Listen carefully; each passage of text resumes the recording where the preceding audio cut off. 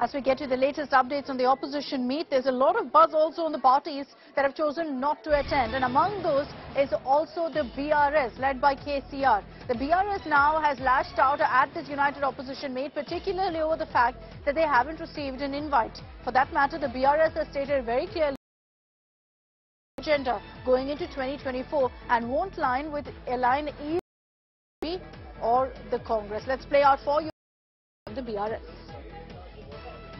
As far as I know, I don't think we have got it. At the same time, we don't want to share any platform with Congress party because we strongly believe even during their ten tenure, they could not do enough to this country. They could not utilize the resources of this country. They have not done anything great. As regularly any consecutive government can do, they have done the same. same. But they have not done anything great and we don't want Congress to be repeated in this country.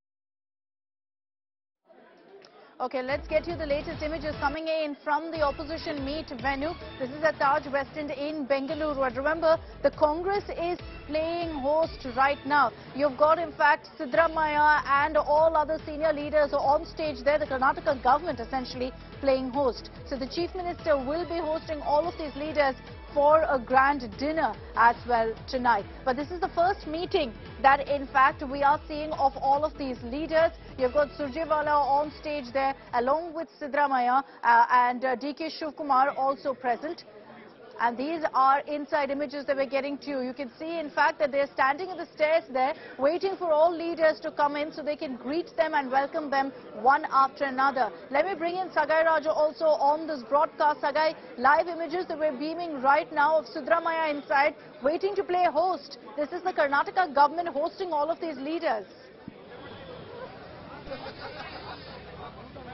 Absolutely, Siddaramaiah is hosting tonight dinner for all the uh, uh, all all the leaders who have reached Bengaluru. And uh, Siddaramaiah went inside, and tomorrow afternoon it will be DK Shivkumar, the KPCC president, who is the host of uh, this particular meeting in Bengaluru will also host lunch for them. As we speak now, there are VIP moments here uh, where the leaders are uh, going inside uh, Taj West End Hotel and uh, uh, the dinner will be hosted around 8 p.m. There will be an informal meeting with all top leaders. Remember, uh, Karnataka has won with a huge margin the state of Karnataka and probably they might discuss the model, how they have won and what was the plans and probably those things of plans might be implemented in uh, uh, the, the, the, the, delegation which will be meeting tomorrow when they decide about uh, uh the common minimum program as well as the next name to be decided on this particular alliance.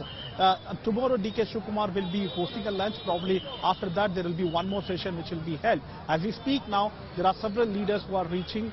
Till now, uh, uh, uh only uh, Sharad Pawar uh, NCP has not reached the venue. Apart from that, almost all the leader, leaders uh, have reached Taj West End Hotel. Pawar is going to be there tomorrow. There was a lot of speculation on whether he's backing out from this opposition meet, but he's confirmed that he will be there tomorrow for this huddle. Thanks very much, Sagai, for getting us those details.